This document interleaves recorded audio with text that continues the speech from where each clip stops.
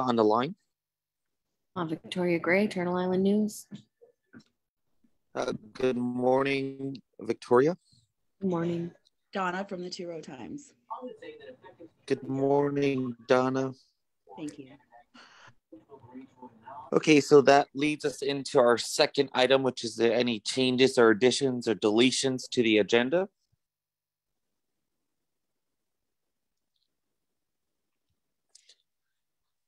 Seeing or hearing none, I'm looking for a mover and seconder to adopt the political liaison agenda of March 28th. I'll move. Audrey. I'll Thanks, second second Audrey, moved by Aud, second by Melba. All in favor? Any opposed? Seeing or hearing none, motion is carried.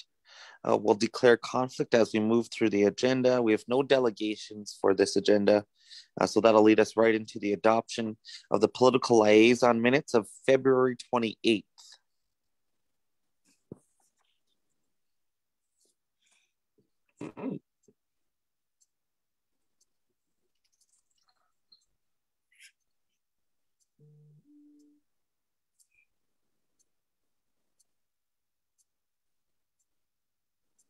I'll move it. Sherry Lynn. Thanks, Sherry Lynn. Is there a seconder? I will. I'll second Melba. Thank you, Carrie. Um, are there any further questions or comments?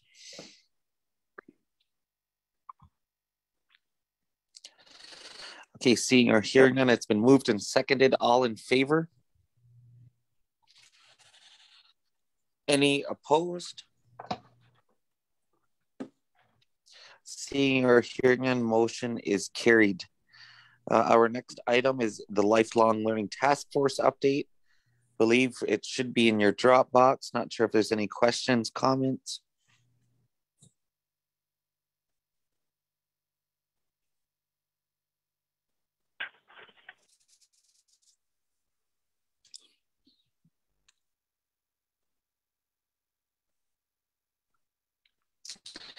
Just want to confirm with Teresa, uh, is there an update within the Dropbox? Yes, there's an update in the Dropbox and it was emailed out too. Okay, perfect. Thanks for that, Teresa. So then I will look for a motion to accept as information uh, if there's no questions or comments. I'll move. I'll Okay, second. moved by Audrey, second by Sherry Lynn. Are there any further questions or comments?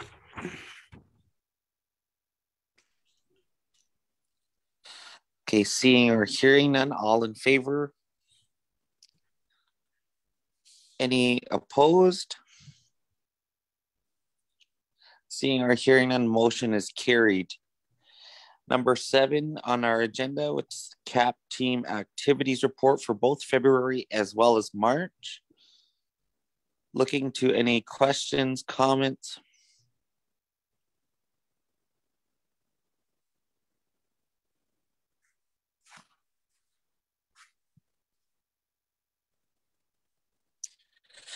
And if there's no questions or no comments, I will look for the same uh, motion to accept as in the report as information. I'll move. It's Melba. Moved by Melba, seconder.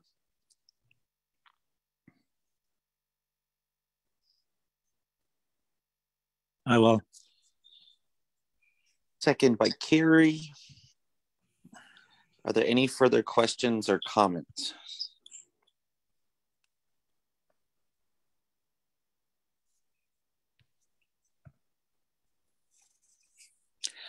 Okay, seeing or hearing none, all in favor? Any opposed? Seeing or hearing none, motion is carried. Um, I'm not going to waive second reading on these pieces as we're just accepting as information. So I'll move right in then to the quote uh, for the 2022 um, moth control spray program. So there's a recommendation in front of us.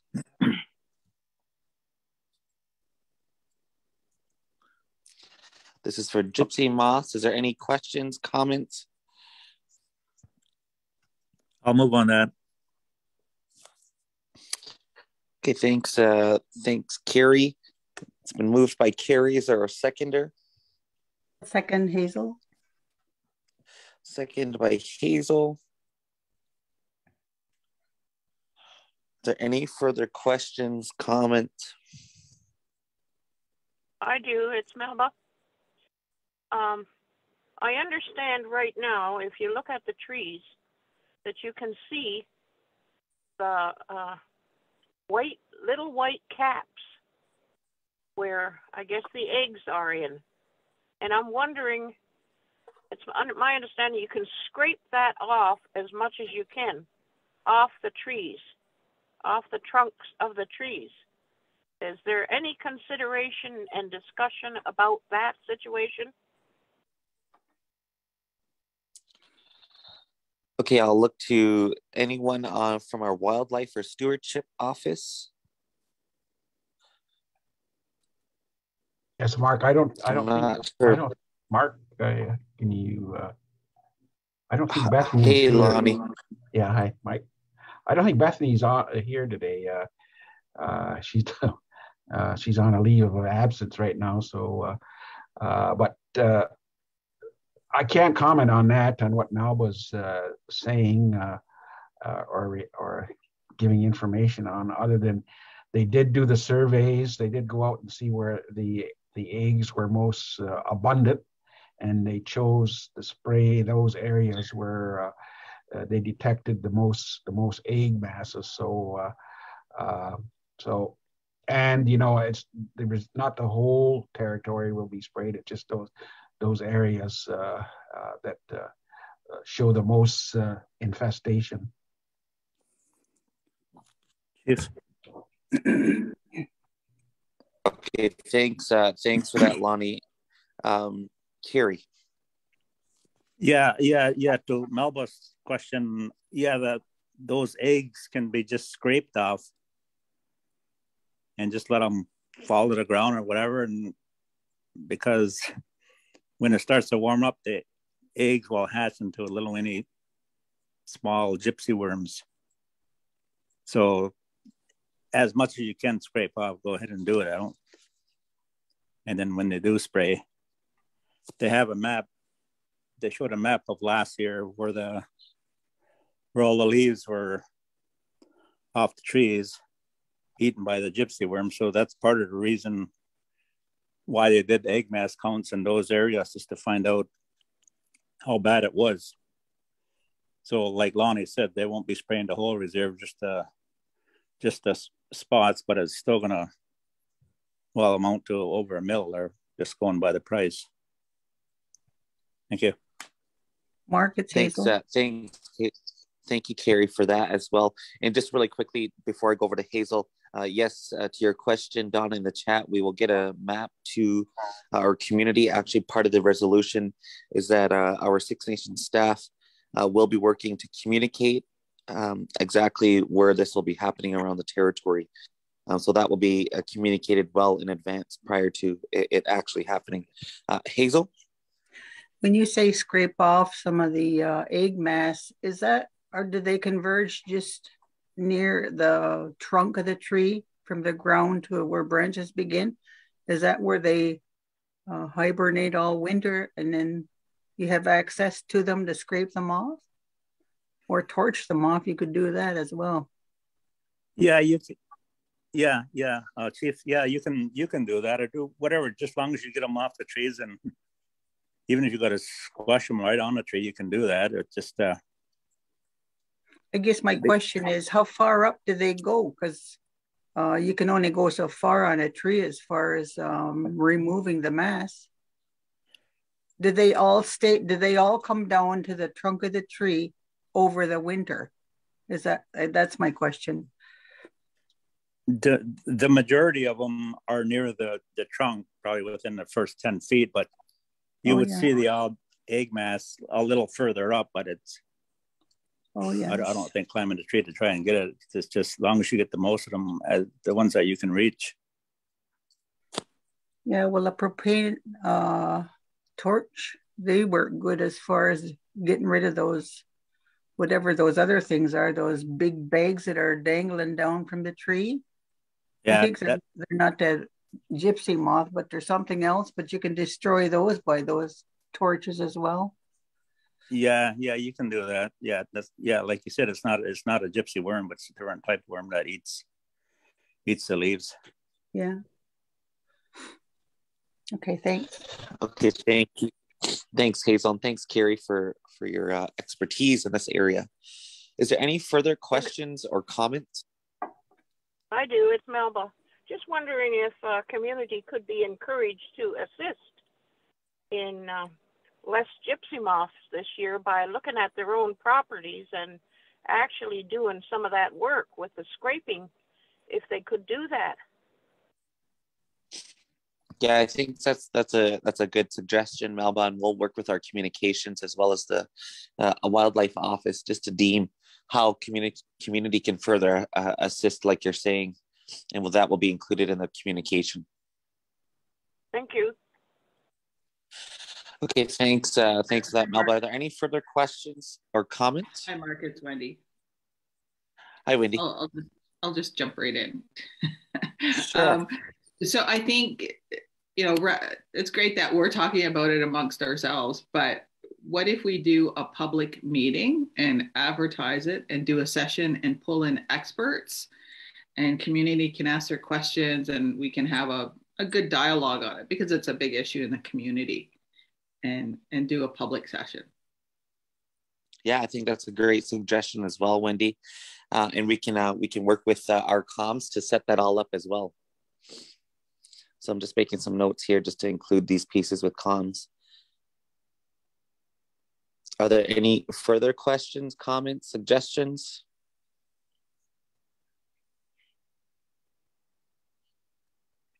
Okay, seeing or hearing, and then it's been moved and seconded. We'll work on those pieces uh, that were suggested for further communication and dialogue. Uh, that being said, I'll look to a vote. All in favor?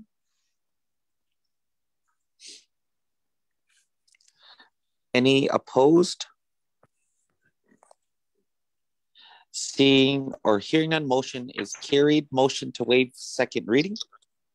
I'll move. I'll second Hazel. Moved by Carrie, second by Hazel. All in favor? Any opposed? Seeing or hearing none, motion is carried. Uh, so we'll work on those uh, communication pieces uh, and start to get this in motion as quickly as possible again uh, prior to the actual uh, spraying, uh, and that we can again have further dialogue and education on this on this whole matter. So we'll look to those pieces. Uh, that being said, I'll move right into the next item, uh, which is the Burkett Lane and River Road subdivision. There's a recommendation uh, that we support the work of the Survivor Secretariat and respond to the City of Brantford that we cannot support the proposed development until such time that the Survivor Secretariat deems it to no longer be an area of concern. So that's the motion that it reads. Uh, is there any questions, comments? Hi, Mark. It's Wendy. Hi, Wendy.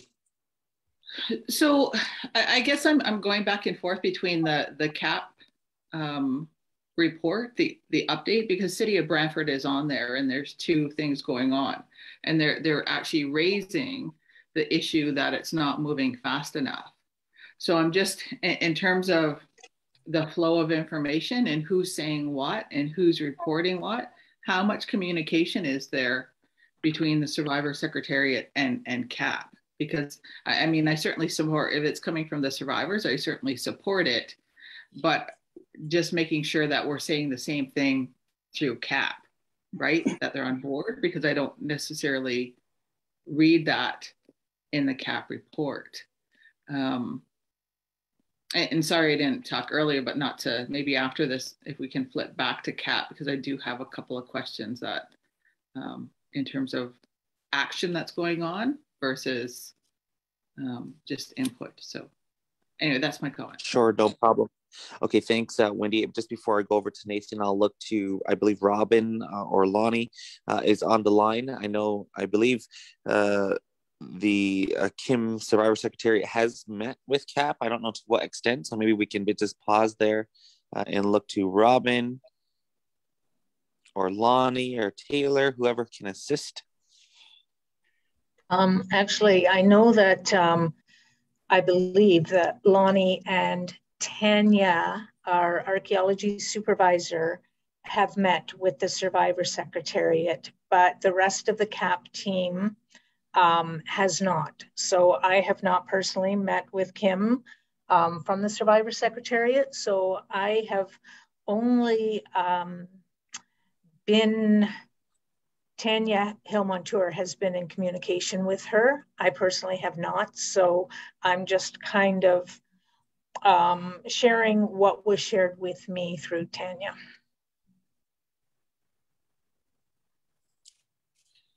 Yes, if I could add, okay, thanks. Uh, could, could add, Mark, uh, to what Robin said. Yes, uh, I was in a meeting with uh, Tanya and myself with uh, Kim Murray uh, several months back, and we Uh, we weren't really addressing the uh, uh, situation at Burkett's Lane at the time, but but Tanya has been in contact with her weekly with Kim, and so the concern is that there before any construction goes on on Burkett's Lane, that the proper archaeological investigations be done first.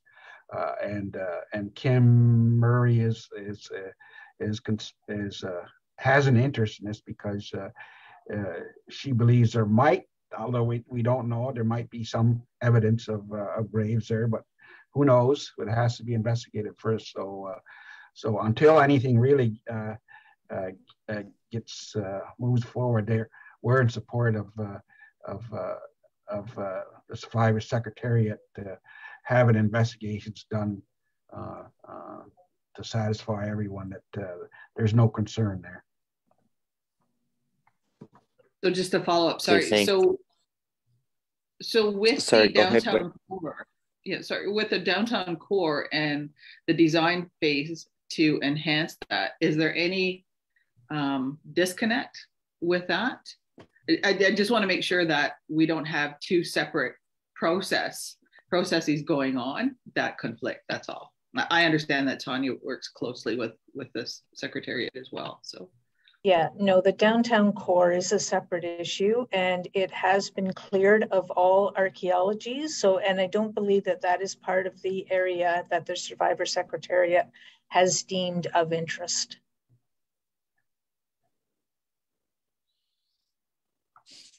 Did okay, thanks. Uh, thanks. Maybe just get confirmation of it. That that's all, and then it's aligned. I don't think it is either, but if we get the confirmation, then that would be great. That it's okay. not part of. Okay. Appreciate that. Thanks. Uh, thanks, Robin. Uh, Nathan. Yeah, I guess just a similar question around the the communication and and awareness around this. Um, has has a, a, correspondence gone to Brantford to say either from the secretariat or from council, um, just to give them that overall kind of heads up to say this is happening in certain areas uh, within um, your your kind of development plan, and um, you know it's going to be going on for the next X number of uh, years um, or or year or or whatever. Um, just wondering if that overall high level correspondence has gone to Brantford yet to, to kind of uh, indicate. I know they, they likely have seen it in, in the news and they're aware, but just that official kind of correspondence, has that gone out? I'm not sure whether it's been actually an official correspondence, but the city of Brantford is well aware of the areas that the Survivor Secretariat um, is concerned about. They have been in contact with the Survivor Secretariat, have had meetings, have um, reached out as far as you know what they can do to help, as far as providing maps, um, you know, writing special um, a special little blurb on their applications saying that this the area that they're proposing to build in could be an area of concern. And I don't have the wording right in front of me, but they they do um, let their proponents know that there may be some some issues regarding um, work that the Survivor Secretariat needs to do. So they are aware. And they have been working with the Survivor Secretariat.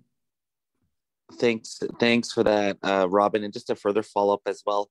Oh, I see Tammy has um, has put in the chat uh, conf- confirming that the secretary provided a letter early last fall. And I know just through my uh, meetings and lunches with Mayor Davis, I know this has been a topic of discussion as well. So we've uh, discussed this piece, and I know that they're respecting all uh, areas and supporting the Survivor Secretariat. So I know it's it has been formalized, uh, Nathan, in that sense.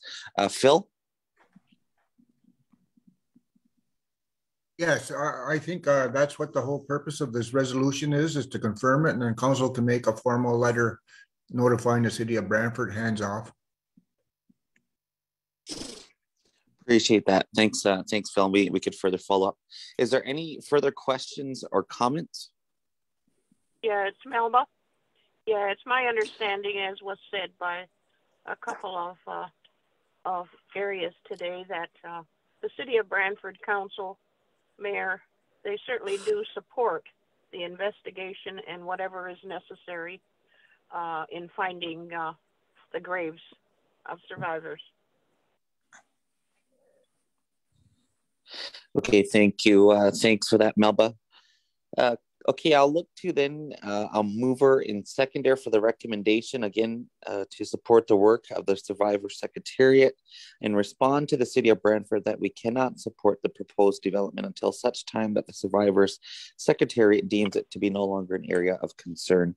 Is there a mover in secondary to that effect? I'll move it. I'll Wendy. move it, Melba. Moved by Wendy, seconded by Melda, Melba. Are there any further questions or comments? Okay, seeing or hearing none, all in favor? Any opposed? Seeing or hearing none, motion is carried. Motion to waive second reading. Wendy. Second, Moved Melba. by Wendy, second by Melba. All in favor? Any opposed? Seeing or hearing none, motion is carried. Uh, we have no political updates at this time, but I will go back uh, to the CAP team uh, activities report, and I'll look to uh, Wendy for further questions, comments. Thank, thanks, Mark, and sorry for rerouting. Just when I was reading, and I missed it the first time, but uh, Broccolini Development, I just see the recommendation from CAP the developers acknowledge that the 10-1 tree replacement ratio in addition to the 30 uh, meter buffer for provincial wetlands and going on to talk about that. So that those recommendations from the CAP team to the developer, has have those come through council?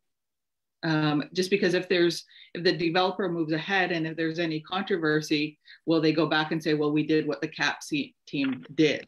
So in terms of political position and political action, that takes that off the table. So just wondering about process. And there's a couple of other pieces too where it's, um, I don't recall the recommendation coming back to council for, for action.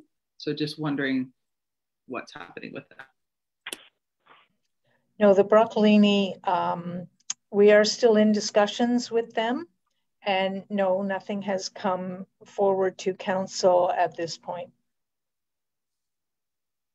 But but in the report it says that CAP has made a recommendation to the developer and the developer has acknowledged it and is taking action based on those recommendations. That's what I read in the report. So if if they're taking action based on your recommendations, that should have come through council, should it not? That's a good question. I was um, like that's just one of the um, things that we always mention with everybody when we talk to them so it didn't we didn't view it as a formal recommendation It's just one of those things that when we're talking to proponents, we ask for 10 to 1 tree replacement ratio. I, I guess the, the problem for me is that anything like that with the developer in the action, um, that means that they would make the assumption that they're taking the action that's necessary and they're free and clear to move ahead. Um, so, because when I look at the consultation and accommodation procedure, number six is anything has to come back to the elected council. So, if recommendations are happening from CAP to the developer and the developer is taking action, then we're missing that step, I would think. Okay, If we're- so, are doing any um, assessment or anything. Yeah, and, There's and that- I can certainly do that. Um, my concern is, as I said, we do recommend that for everybody that we talk to. Absolutely, you know, all the, any kind of development that is happening, we ask for that 10 to 1 tree replacement ratio. So do you want us to just stop asking for that? Is that like, I'm, I'm not sure. It's not a formal it's just part of the discussions that we have. So it's not a formal recommendation. Is that something you just want us to stop asking for then? Like, I'm not sure how you want me to proceed from here. So, so I, I'm just going by what's reported in the update. And it says that the recommendation from CAP team, it doesn't say that, you know, there, there's an automatic process that occurs with everyone. So I'm looking at, at face value. My Okay, concern yeah, is yeah. that if, if, if I can finish, if this is happening, is there an agreement, what's in writing to the developer to state that this is just an initial surface um, standard request? This does not eliminate, eliminate any other um, issues coming forward so that we are mitigating any risk so that they don't think they've got carte blanche to do whatever. So having that well mapped out and uh, you know I think just anytime that there's a recommendation action whatever it is big or small council should be aware of it because if it comes back to um, you know to bite us later on we need to be aware because then you get that fight between developers and, and so on Mhm. Yeah, and as I said, we are still in discussion with Broccolini. So that was not a formal um, recommendation, but I think Phil could probably add to this. Again Yeah, I'm just I think just to also- I- yeah i don't need an explanation i'm just reading what it says here and i just need to know that is is there a, an agreement that's in place whether it's informal discussions ongoing discussions as soon as you make a recommendation to them and there's action that begins a process thanks Great. I thanks uh, thanks Wendy, and I know that we have uh, Robin. You have even from CAP. I know I think I've si- signed off on one or two correspondence just to different effects and specifics to broccolini. Uh, just again, I do understand the ongoing discussions happening, and that further uh, recommendations is still yet to come back to council. So I know that's uh, that's part of part of this as well. But maybe just really quickly, I'll shift over to Phil. Yes, I, I think maybe it's just clarification on the wording. It's just, we've got a lot of things to discuss with Broccolini. That's even if we come towards any kind of an agreement uh, that we can bring back to council for their consideration. These are just subjects that we bring up for the wetlands, protection of the wetlands, um, like the 10 to 1 ratios of, of tree replacements. But there's also issues with the land tenure itself and that we're challenging. So uh, we're a long ways from bringing anything of fruit to the council to consider yet. So just for clarification on that, Wendy, it's, it's, it's a, it probably is just the wording of the, uh, of the summary record, uh, which is valid for sure. Yeah, get it clarified by all means. Thank you. so so that's that's great. I, I appreciate that. It's just not what the report says. So Yep. had had the report said what you just said it it, it it's clarified. So knowing that you know this is phase one and these actions but there are other issues. So for for me i can only go by what the report says and that's all the information i have on it. So um, thank you Okay, thanks, uh, thanks, Wendy. Are there Wendy? Do you, is there any further questions or comments? I, I think sort of this discussion is general overall for the whole report. I mean, it's it's much better than it than it was at the last meeting. So I appreciate that, but just kind of giving that full story and very concisely. I mean, the, the other pieces of it would be helpful. Thanks. Appreciate that, and thanks. Uh, and we'll look to note that as well, Robin, on your uh, on your report. Okay, that being said, then I'll look to. I know uh, Tammy just has informed me just under one political update, uh, the Keyway. So I know Jill is unfortunately not feeling well today, so Tammy can speak to uh, the item uh, that's under political updates, which is the Keyway. Over to you, Tammy. Okay, so in, in your Dropbox, Council, you would have noticed that there was a briefing note dated March 25th. And so this is just an update. Uh, you remember back in September, Council had agreed to put uh, a political rep at the table for a six month period just to see whether or not it was worth us sitting there. And so Councillor Sherry Lynn Hill Pierce has been Council's designate. And we also have um, Darren has a, has a appointed or went through one of our text people, Tanya Hill Montour, our archaeological supervisor, is also a member or sitting at the table. Um, at the time, we had also left room for um, Kim Murray, the exec executive oversight lead for the survivor secretariat to participate uh, should we think that it was appropriate. And so you'll see in the recommendation that it, it has been uh, worthwhile and that the recommendation is that Six Nations the Grand River Elected Council shall continue with the appointment of a political representative and an alternate to the Keyway Advisory Group table. Further, that Kim Murray, Executive Oversight Lead of the Survivor Secretariat, be invited by the Six Nations of the Grand River Elected Council representative to attend meetings with them as an observer as required. So if council in agreement um, to have Chair then Hill Pierce continue, then uh, we look for a mover and a seconder with second reading waived. Uh, it's Melba. Okay, great. Thank you. Thanks for that, uh, Tammy. Melba? Yeah, I think it's only appropriate that uh, Sherry Lynn continue, and, and I know that she, she uh, wishes to continue, so I will make that motion, please. Okay, thank you. Uh, thank you, Melba. Is there a seconder? I'll second that, Mark. It's Hazel. Okay, thank you, Hazel. Are there any further questions or comments? I, I have a question. It's Wendy. Does Sherry Lynn want to continue? Sure, go there? ahead, Wendy. Does Sherry Lynn want to continue sitting there? Yeah. So so yes, we had the discussion with Jill and um, Tanya was there, and um, yeah, I think it's we still need to be sitting there to see um, what's going on. But again, just as an observer and still uh, do our own. So I'm okay with sitting there. Thanks. Okay, thank you. Uh, thank you, Sherry Lynn. Are there any further questions or comments? Okay, seeing or hearing none, then it's been moved and seconded. All in favor? Favor. Any opposed? Seeing or hearing none, motion is carried. Motion to waive second reading. Motion, Melba. Second, Hazel. Okay, thank you. It's been moved by Melba, second by Hazel to waive second reading. All in favor? Favor. Any opposed? Seeing or hearing none, motion is carried. Uh, okay, Council, that's all I have for the open uh, agenda.